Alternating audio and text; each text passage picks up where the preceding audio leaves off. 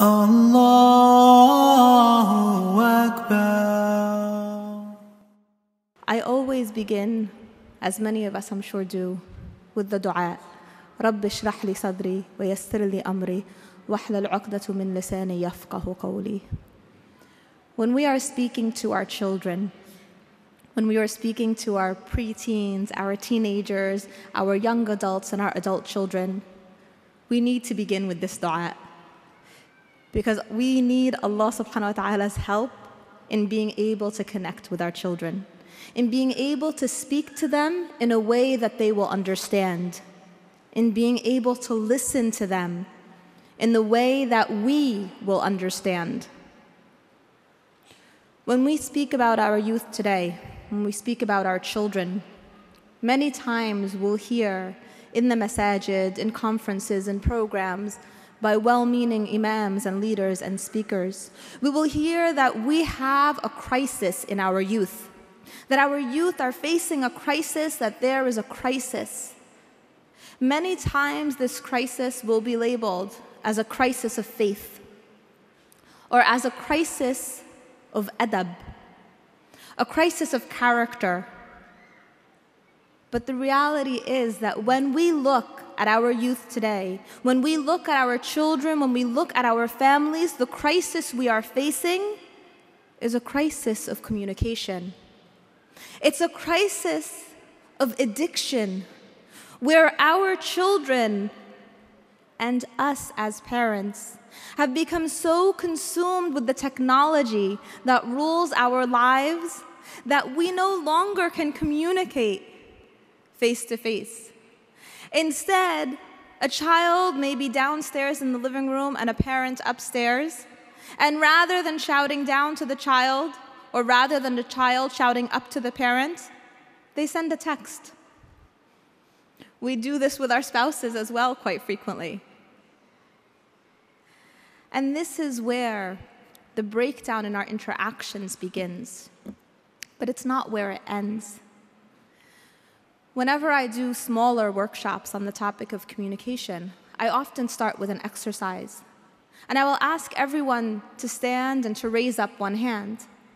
And as I continue with the exercise, I will continue to ask people to do certain things place their hand on their head, put it on their shoulders, place it on their knees, place their hands on their hips. And then I will verbally say, place your hand on your chin as I put my own hand on my cheek. And many times, as I look around the room, a large percentage of the people in the room will have their hand on their chin, not their cheek. And another group of people will have their hand on their cheek and not their chin. And so I always ask, what is it? What motivated those people? Even though I said chin, why would they put their hand on their cheek? And the response is because I put my hand on my cheek. And we see how the visual action overtakes the verbal. So that even though I may say something, what the people react to is what they see. Our children are no different. They will react to our nonverbal communication just as much, if not more, than to our verbal communication. If our children come home from school and enter our cars and we ask them, How are you doing? How was your day? And they say, Fine. Our response is always like, Okay, good, and we move on. But did we really listen in that moment? Or if they, we ask them, How was school? and they say, Fine, and we're looking at our phone and we're texting, in that moment, they know that our body language, our nonverbal, is saying we don't really care because they will look to our nonverbals, they will look to our actions. How many times have we been in conversation with someone and before they even ask, How are you doing? we say, Alhamdulillah. Salam alaikum, Alhamdulillah. Because many times we don't listen. We have our response ready. We're so eager to be heard, we don't take the time to hear. And we do this with our children. We do this frequently with our children. If we want our children to listen to us, we must first listen to them. If we want our children to understand us, we must first understand them. As a high school teacher and as a mother of two teenagers myself, I know I'm constantly trying to keep up with the language. So I'm Googling all the time what does on fleek mean? What does it mean when something's ratchet? For the longest time, when I would hear someone say, like, oh, that, that outfit's ratchet, I'd be like, oh, thanks, you too. not realizing that ratchet does not mean what I thought it meant. Or now it's, oh, that's so extra, that's extra. And the language constantly changes. Why? Because it's the code for the generation. You know, in many of the marriage talks that I give, I'll often speak about the verse in Surah Ar-Rum that's known as the marriage verse. The verse that reminds us to incorporate mawadda wa rahma in our interactions. But when we look at the verse that follows verse 21 in Surah Ar-Rum, when we look at verse 22, we see Allah subhanahu wa ta'ala reminding us that we have been created with a diversity of tongues. And the word lisan is used. Lisan is very different than languages. And although sometimes you will look at the translation of that verse and you'll see the word language is used, the word lisan means tongue. Why tongue instead of language? All of us sitting in this room here may say, well, we all speak English, right? But when we begin to converse with our teenagers, when we begin to converse with our children, suddenly we're hearing things like LOL and uh, OMA and uh, BIO and lots of small acronyms for things that we have to stop and say, wait, is that even English? It's the same language, but it's a different tongue. I remember the first time I heard my youngest daughter, she was walking around the house uh, saying, OMA, OMA. And I ran to urbandictionary.com, and I've mentioned this in several of my talks, that it's a beautiful website that kind of guides you to the lingo of today. And I logged in and I put in OMA, and nothing came up. And I'm like, what is this OMA? So I went to my youngest daughter and I asked her, what's OMA? And she was like, Mama, it's oh my Allah. Everybody's saying it. and I realized that even at that young of an age, there is a sort of code that is shared among youth, among our children. And it's a code that sometimes we cannot be privy to because language is powerful. The words we choose can shape our world. The theory of sociolinguistic relativity tells us that an action or an item does not gain its meaning inherently, but instead it adopts its meaning from the words we use to describe it. What does that mean? 20 years ago, when I was younger and you know playing on the playground in my public school, we used to sing a song. And the song used to say something like, I'm so gay, I'm so happy today. The word had a very different connotation, the word gay. Today, imagine if you fast forward and you see young people, children, playing on a playground and saying, I'm so gay, I'm so happy today. The meaning is very, very different. Among our youth today, as our seniors in the high school where I teach are filling out their college applications, this year is the first year that we find on the college application there are three boxes under gender male, female, other. Language is powerful. Today, when we are filling out forms again for our high school students, we are required to indicate whether someone is cisgendered or transgendered. What is cisgendered? It's a word that has just come into our lexicon recently. And it's a word to identify someone who is born adhering to a specific biological gender and who also identifies with that biological gender. So it means if you are born a boy, you are a boy. If you're born a girl, you are a girl. But why do we need a term now, cisgender, to describe it? Because this is how we normalize what may seem outside the range of normal. When we label what is normally accepted in a regular sense of the term, we begin to create an avenue for labeling other items as well. This is what our children are facing today. And yet we speak to our children in our tongues. We speak to them in languages that we've grown up with. And I don't mean to say that these languages are Urdu or Arabic or Spanish or French. Yes, that's a part of it. We bring our cultural baggage or our cultural background into our relationship with our children, but we speak to them in a language that describes our generation, describes what we grew up with, rather than what they're experiencing. If I tell all of you right now to think of a tree, and in this moment, each of you conjure up in your mind an image of a tree. I can guarantee that around this room, we will have at least 10, 20, 30, maybe even different types of trees that you thought of. Some of you may have thought of a palm tree. Some of you may have thought of a Christmas tree. Some of you may have thought of an oak tree. Some of you may have thought of a willow tree. Regardless of what tree you thought of, the word that I said was tree. And the tree that I was thinking of was an apple tree. But when I conveyed that word to you, you brought to your understanding of it your own background, your own history, your own memories, your own thought processes, your own worldviews.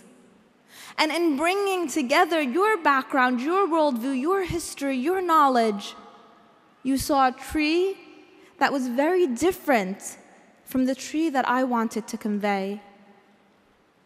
So imagine now when we speak to our children who are growing up in a world that may have many different things going on in it than what we experienced. How do we reach them? How do we get them to understand us and we understand them? The first step is by recognizing that each generation will always have a different version of the song that we had when we were growing up. Parents just don't understand. This is part of sunnat al haya that as we grow older, we look back at our own parents and we think, wow, we really gave them a run for their money. And our children will get to that point as well. I remember when I was growing up, again, I'm kind of giving away my age here, but back in the 80s, Michael Jackson was very big. And he had a song back then called Bad. And it was really cool that anything that was good, anything that was fun, anything that you liked, you'd be like, that's bad, that's bad. And so my sisters and I would walk around and everything was bad. We'd be like, oh, that's so bad, that's so bad. And it would drive my parents crazy because they'd say, if you like something, say it's good. If you don't like something, then say it's bad. And in our minds, we would just kind of shake our heads and say, parents don't understand. And this is the process, recognizing that we will not always be privy to the conversations of our teens and our children. We won't always be allowed entrance into that secret realm. But we do have to understand it. And we do have to understand the avenues that we can follow and pursue to connect with our children. And it's not always by using the same words. Because I know I embarrass my teenagers all the time when I'm speaking to their friends and I'm like, oh, that's so on fleek, or like, yeah, that's extra. And they're like, mom, don't. Like, just don't. so it's not about us adopting their language and utilizing it, it's about us listening. It's about being able to really hear our children when they speak to us and to hear them not just with our ears, but to show them that we are interested in what they have to say, to connect with them with our eyes, to drop our devices, to put down the phone, and to really listen to them, to be present, to have them see that we are interested in their lives. We want to know what's going on. We want to have that connection with them because that's the foundation. Our children will enter into a world that will consistently try to highlight for them that they are different, They will enter into a world where people will tell them they're not good enough, they're not smart enough, they're not pretty enough, they're not thin enough, they're not good enough. Our children need to be able to come home to a place of security where they can know and they can hear consistently that they are more than good enough, that they are more than pretty, that they are more than everything the world tells them. And we can only give that to our children when we learn how to connect with them, when we learn how to speak to them. Where does it begin? It begins with our own communication. How do we speak to our spouse? How do we speak to our own parents? When our children see us interacting as a family, do they know mom's the easy one and dad's the tough one? Do they think, well, I can talk to this parent, but I can't talk to that parent? When they see us interacting with our own parents, how do we communicate with them? If we communicate at all. Do we call them? Do we speak to them? Are we kind to them? Because our children will emulate those actions. Our children will look for the communication cues that they learn from us, from who we are and how we interact. And they will co opt that into their lives. Talk to your children. If your child is a texter, reach out through text and tell them that you love them. Tell them that you are proud of them. Tell them that they're amazing. But even better than that, tell them to put their phone down. Tell them to come sit next to you. Tell them that you enjoy their company and you want to be with them. And don't just tell them, show them. Be the parent who goes on the field trip with the children. Be the parent who drives the children to soccer practice. Be the parent who sits through the presentations and the programs. Be the parent who is there. Because when you're the parent who's there for the children at a young age, your children will be there when you grow older. And not because they have to, but because they want to. Because you've built that connection with them brick by brick, step by step. You've built it through your connections of communication. You've built it by being able to speak to them. You've built it by knowing that they, when you speak, they will listen, because when they speak, you also will listen. We're living in the age of information where our children are bombarded. They're bombarded with images, with social media, with different uh, chat groups online, with things they watch on YouTube, with television shows. They are bombarded every which way. We are living in an age where Hollywood, in particular, tries to teach our children to do you, to be your own person, to be yourself. And implicit in those messages of doing you and being your own person is a thin thread. A thread of you do you, and it doesn't matter what your parents think. And we know, of course, the importance of the relationship between parent and child. We know in the Quran, we are reminded consistently in the verses in the Quran when Allah subhanahu wa ta'ala speaks about shirk, speaks about the biggest sin possible, those verses are frequently followed with the importance of being good and kind to parents, the importance of lowering the wing of humility to your parents. But it's a two way street. Respect is reciprocal. Our children will respect us when we show them that respect as well. And what does it mean to respect our children? It doesn't mean to give in to their whims, to buy them every latest new Xbox game, to purchase devices left and right. That's not what it means. It means to listen. It means to understand. It means to try to connect with them. in a tongue that they can comprehend. How do we achieve that? Again, it's not by trying to co opt their language, it's not by trying to speak in the way that they speak. It's in learning the code for ourselves, in understanding for ourselves what it is that they're saying, but even more than that, what it is that they're going through. When our youth speak to us about things like K2 or spice, know that they're not speaking about a new Dunkin' Donuts flavor or some kind of candy. Know that these are synthetic drugs that are being used in high schools around the country. When our kids begin to talk about or show interest in the legalization of marijuana, talk to them. Don't shy away from these hard subjects. It used to be that we were afraid when our kids would ask a question like, Mom, Dad, where do babies come from? Those are the easy questions now. Instead, we have youth, children as young as elementary school, asking, Mom, Dad, how come my friend Katie has two moms? Mom, Dad, how come this person has the boy's name but looks like a girl? Mom, Dad, how come in the bathroom in school now, boys who feel like they're girls can use the same bathroom as me? These are real questions. And they're questions that we need to educate ourselves on so that we can have those conversations. This is how we speak in the same tongue. It's by understanding the power of language and understanding the power of the nonverbal as well.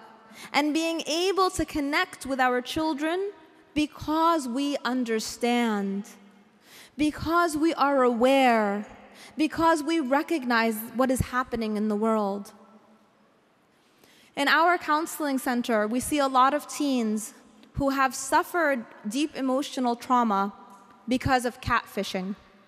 And I've mentioned this term frequently, and I'll continue to mention it in my sessions because I don't think there is enough awareness that surrounds catfishing and what it is. But many of our teens are lonely. They are looking for someone to speak to. Why? Because as parents, we may not be affording them the supportive atmosphere, not only to speak to us, because our children will not tell us everything, but to also create that dynamic space where they have friends, companions who have the adab, the akhlaq, the iman that we want to inculcate in them. And if we are not giving them that supportive atmosphere, then guess what? they will find it. And they will find it in all of the wrong places. And they will go online and they will latch on to the first person that tells them, You look cute in this picture. I like your tweets. I think you're deep. You're so extra. And when they latch on to that person, it will not matter that this may be a predator. It will not matter to them that this may be someone who has taken someone else's identity. It does not matter that this could be a pitfall, a trap, a situation of catfishing, because they will be seeking someone who will listen.